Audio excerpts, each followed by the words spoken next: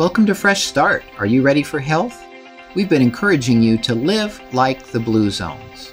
So here's what we're encouraging you to do. Last time we talked about getting up to 40 grams of fiber a day. We encourage you to keep working toward that, filling at least 75% of your plate with those foods rich in fiber and water, and getting a cup of legumes or beans daily in your diet. Now we'd like you to also consider minimizing those animal products and processed foods. Eat them all together on a celebration day, no more than one or two times a week. That allows your body those five or six days to be free of inflammation, where it can heal itself with those plant based whole foods. We also want you to consider getting a buddy. Your buddy doesn't have to do this with you, but somebody you can be accountable to. You can share with them that you're working on this, and they can check with you a couple times a week to ask you how you're doing on your goals.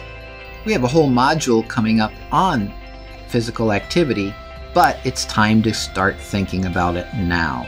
We encourage you to be more active in your life, to think about ways that you can have more physical activity. Maybe you need to actually schedule that physical activity. In the left sidebar on the website, you can download the Be Like the Blue Zone summary, and when you flip that over, you'll find some pre populated SMART goals that you can consider.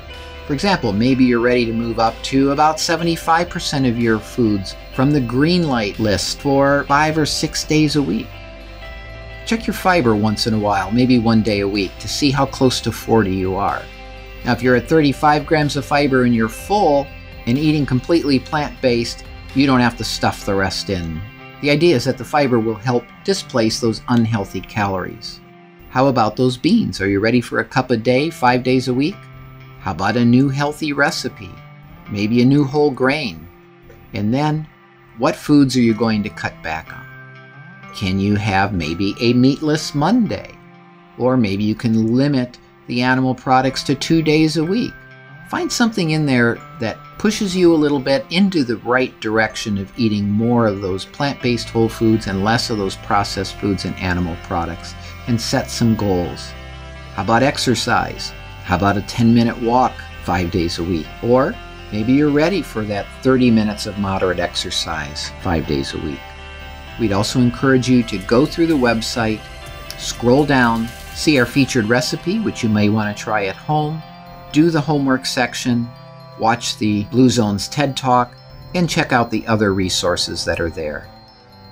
Are you ready for health?